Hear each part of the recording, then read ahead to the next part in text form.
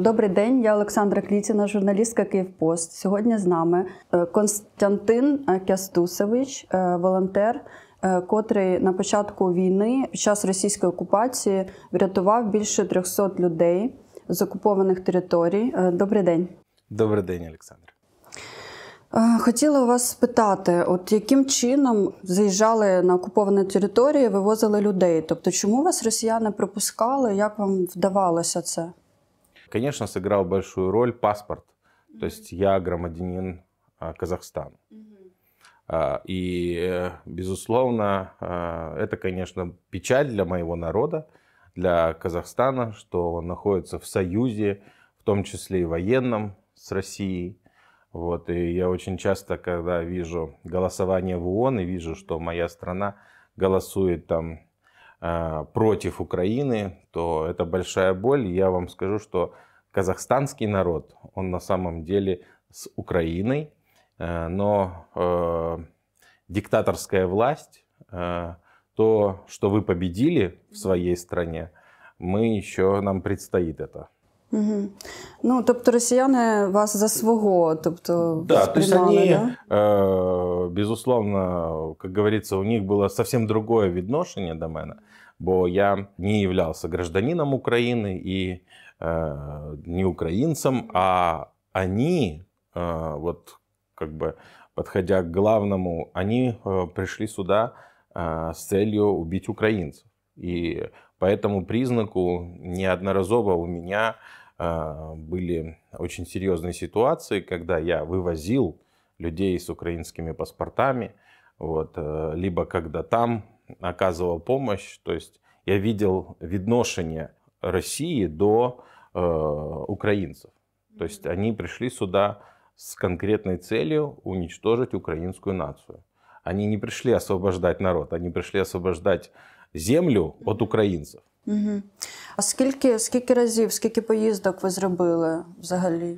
Ну, я вам скажу, я не считал. Ну, перша моя поездка была в день полномасштабного вторгнення. Это была поездка біля Димиру, там есть село Ясногородка. Тогда еще не был взорван мост. І мені вдалося оттуда врятувати сім'ю з дітьми, беременну, вагітну жінку. Она была на восьмом месяце беременности. Сейчас родился хлопчик, и я ему являюсь хрестным батькой. Мы хорошо общаемся, у нас такие видношения, как у родных людей. И я вам скажу больше, что практически все люди, которые побывали в моей Автивке и были врятованы с оккупованной территории, они все стали для меня, по сути, родными людьми.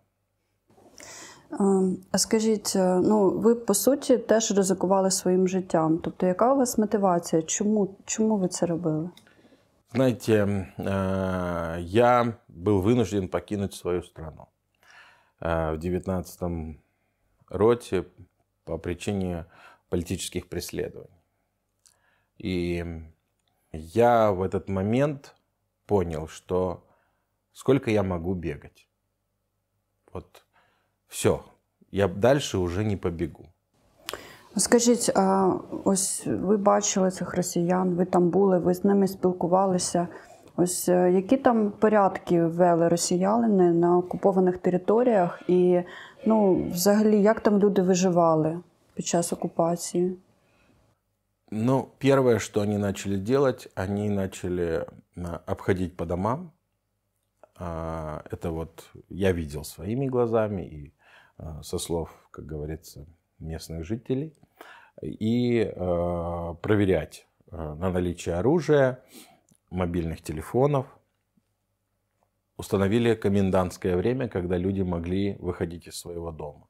Вот там с 10 до 12 дня, да, они могли выйти, набрать воды, ведь все же отключили сразу. И вы же понимаете, Буча, Ирпень, это городки, это Э, не село, там нету кремницы, да, и люди куда-то ходили, где-то какие-то э, джерела были, да, набирали воду. В какой-то момент, когда вот происходила ротация, они, поначалу они же ехали на парад, они думали, что сейчас они зайдут в Киев и пройдут парадом. А, И у меня даже очень много осталось, это уже после деоккупации, я находил в парадную форму их. Да, они с парадной формы сюда ехали. И когда они начали получать отпор, и ведь очень много было и партизанской войны, а, вот в Буче там один такой дедусь, он просто каждую ночь выходил на охоту. И русские боялись ночевать в технике. Они прятались в канавах, потому что он их просто отстреливал. Он их отстреливал, как отстреливают зверя на охоте. Понимаете? То есть вот такие поступки, они, безусловно, вызывали в них агрессию. Они начинали э, уже э, просто беспорядочно убивать людей. Просто тех, кто выходил на улицу. Э, Хотя люди, знаете, они же такие правила поставили, что люди должны были ходить с белыми тряпками на руках. То есть вот как гетто было у фашистов, так и они. Они начали такие же порядки. Потом они сказали, что люди должны на заборах каждый день писать, сколько человек в этом доме. А, Скажіть, ось е, після визволення, да, ну скажімо так, коли відійшли росіяни е, з київських е, з київського регіону, там з Бучі, з Ворзеля, відкрилися такі жахіття, звірства, що вони робили. Е, Скажіть, е, ось ви, мабуть, бачили це. Тобто, яка ситуація вас найбільше вразила? А, Мне ведь приходилось самому хоронить людей по час оккупации. А, В марте были уже такие теплые дни, и просто едешь по улицам, а лежат люди убитые.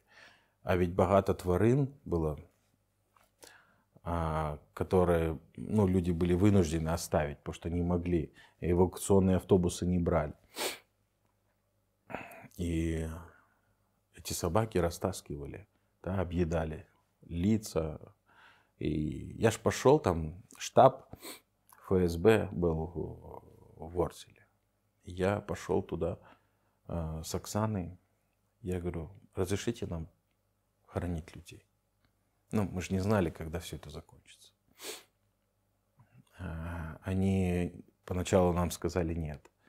Потом я снова встретил, там же были как посты и были патрули. То есть они ездили на машинах с этой свастикой В.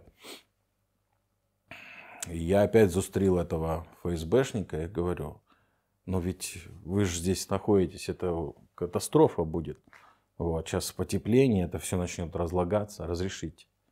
Он говорит, хорошо, закапывайте там, где найдете. А яка історія може вас так вразила найбільше, шокувала? Чи є таке? Историй багато, но, наверное, самое страшное – это когда ты везешь ребенка раненого,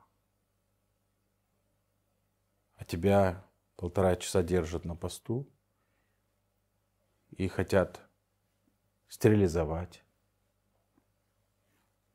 убить, потому что, чтобы не ехать никуда не надо было. А, а ребенок лежит без сознания, со сколочным ранением. Ребенку 7 лет. И ты встаешь на колени и говоришь, если бы это был твой ребенок, я бы за ним поехал. Это ангел. Она вырастет, она сама примет решение. Ты не имеешь права, ни ты, ни я не имеем права лишать ее жизни. А он тебе говорит, она бандеровцев рожать будет. И это, понимаете, это не какой-то кадыровец. Это перед тобой стоит русский, которому 20 лет от роду. Ой, жах. А взагалі багато от дітей, е, над якими вчинили насильство, ви зустрічали. Так? У меня было кількість историй, когда я после эвакуации несколько дней не мог просто заснуть. Вот не мог, понимаете? То есть ты закрываешь глаза, и ты видишь глаза этого ребенка. И ты понимаешь, вот, вот эта боль, которую... вот мы недавно были в Буче, в модульном местечке, поздравляли детей с Днем Святого Миколая. А дети настолько закрытые, когда у них Миколай спрашивает, а есть мечта? А он говорит, нет. Может, ты что-нибудь хочешь, якийсь подарунок. Ничего не хочу. Вот просто, понимаете, это детство. У этой войны есть детское обличие. Понимаете, эти дети, они пережили такое. И вопрос, а можно ли простить? Я вам скажу, я не прощу никогда. Я не прощу никогда. Никто из моих близких не погиб на этой войне. И, но то, что я видел, когда едешь по улице, это было в Буче, и шла семья. И вот снайпер сначала убил мужчину, потом убил подростка, понимаете, и смотрел, как женщина над вот этими телами просто рыдает, понимаете? Что это? Это война? Нет, это не война, это, это геноцид. Он убил это ради забавы. Эти люди шли в белых этих тряпках. Они пытались спастись. А он их убил ради забавы. Вот такие у них радости. Радости, когда они видят боль, вот такую страшную, да. А, а для меня было тяжело, потому что я не мог остановиться. Я просто ехал, я понимал, если я остановлюсь, погибну я и погибнут те, кто у меня в машині. Ой, Боже, який. А, а чому вони це робили? Ну, от як ви думаєте, ви ж з ними спілкувалися? Це така ідеологія, просто ненависть. І хто це? Псковські десантники, чи це буряти? От. А, вы знаете, среди них хороших не было. Я не встретил таких. Я не встретил ни одного, который бы проявил какую-нибудь людность до людей, которых я вывозил. Даже до мене. У меня были случаи, когда а, мы нарвались на колонну, нас вытащили с машины, положили на землю, поставили просто в голову ствол и сказали, что есть сказать вам. Я сказал, я был готов умереть, когда ехал сюда. И он выстрелил над моей головой. Вот в тот момент я думал, что я все. Ну, то есть ты же не знаешь, как будет дальше.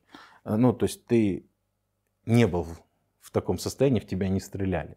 Дума... Думаєте, це наказ Путіна був прямий? От знищувати, вбивати таким жорстоким чином? Чи це вони просто тут? Ну, тобто, це їх ініціатива?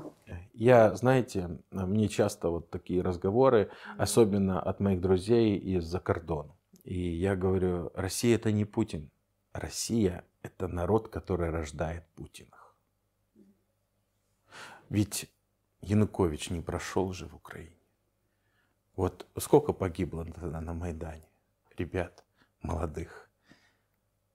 Они ж погибли за то, чтобы Украина была свободна, чтобы здесь не было Путинах.